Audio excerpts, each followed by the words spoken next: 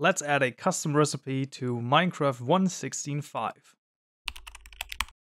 Adding custom recipes is actually a really easy thing. We just need another JSON file, which would be located under data, your mod ID recipes, which is a folder we've already created. We're going to make our amethyst ore craftable. So let's create a new file, right click, new file, amethyst underscore ore.json. Now what's interesting about the recipes is that the name does not have to match the name given inside of the mod blocks class right here, or the mod items class if we want to craft an item. It does not have to match in this case. A great tip, we're not going to type out the recipe, we're actually going to take a look at the vanilla recipe JSONs. And we can do that by navigating to external libraries down here, and then going down to net Minecraft client extra, and then whatever version you're on, opening that up, data, Minecraft recipes. And then we have every recipe that is inside of Minecraft vanilla right here for the JSON files.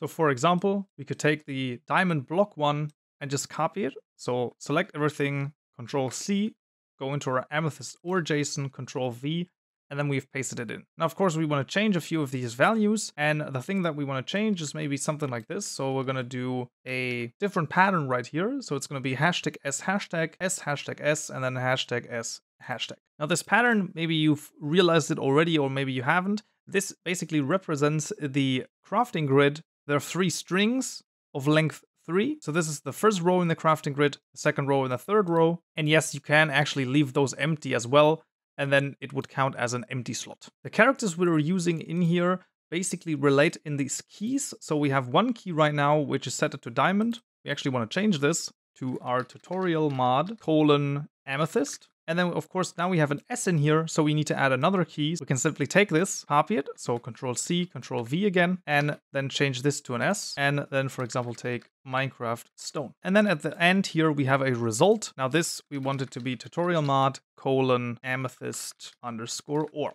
So we basically make an X with our amethyst and then surround it with stones. Looking at the vanilla recipes really is the easiest way to do this. That is actually everything we need to do, so let's see if it worked. Right, we find ourselves back in Minecraft and let's see if the custom recipe has been added. And it has been added indeed. So we can now craft an amethyst ore block and there we go. You might have seen that this was of type crafting shaped. So this would be a shaped recipe. There are of course also shapeless recipes. So for example, if we take a look at the diamond, we can see that this would be crafting shapeless. And instead of taking a pattern, this would then take ingredients and another thing in the result, you can also specify a count, so how many items of that result you're going to get.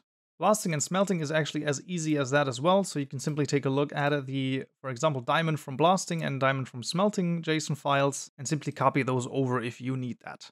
The convention is to name the file after the result, and if you have multiple ways to craft something, then you can, for example, put a underscore 1 to it, or an underscore 2, and so on or you can also put an underscore from something else into it. If your recipes don't work, make sure that the folder structure is correct so that it's under data your mod ID recipes. And then also make sure that inside of the JSON file there is no typo in there. One of the most common errors I've seen is when you copy from a vanilla JSON file that you change the item name, but not the mod ID. That's very important. You have to specify the correct mod ID, otherwise it won't work. So definitely check that as well. And now I have a challenge for you.